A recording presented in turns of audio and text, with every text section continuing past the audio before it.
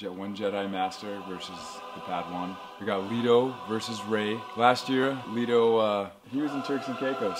It was a special day. Uh, he, I think he backflipped off this exact little ledge, off that boat, and off that tree. Um, he's looking to, to double down and do it all again. But that was last year. I was gonna announce who was gonna win. One of the guys got 3.5 deals. The other guy got three. They decided they wanted to send in their own announcement on who won. So here it is.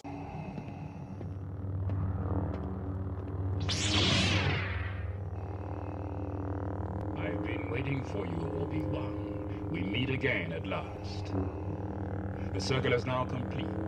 When I left you, I was but the learner. Now I am the master. Only a master of evil, Darth.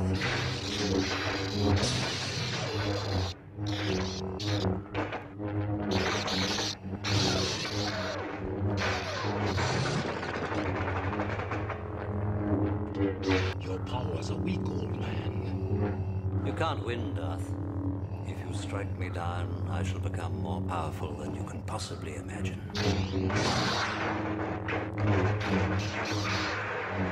You should not have come back. Ben?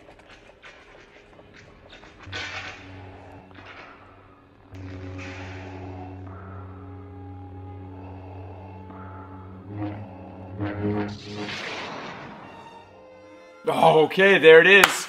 Now you have it. Ray, you were Anakin, you turned into Darth Vader, and now you destroyed Obi-Wan. Leto is gone. But like Obi-Wan said, he only becomes stronger. So Leto, title's coming up. You never know. I mean, I feel like you're primed and prepped for to win that now. But Ray, congrats, dude. You're the winner of the Madness 2022, dude. You're going to Turks and Caicos, bro. So now everyone else who's watching, I feel like it's a great time to start sending Ray sunglasses, food, treats, whatever he needs, iPad, because he needs a plus one, right? I don't know if he has a girlfriend. I mean, I don't know, but it looks like there's an opportunity to uh, swoop in on that plus one. So the Madness champion, dude. Wow!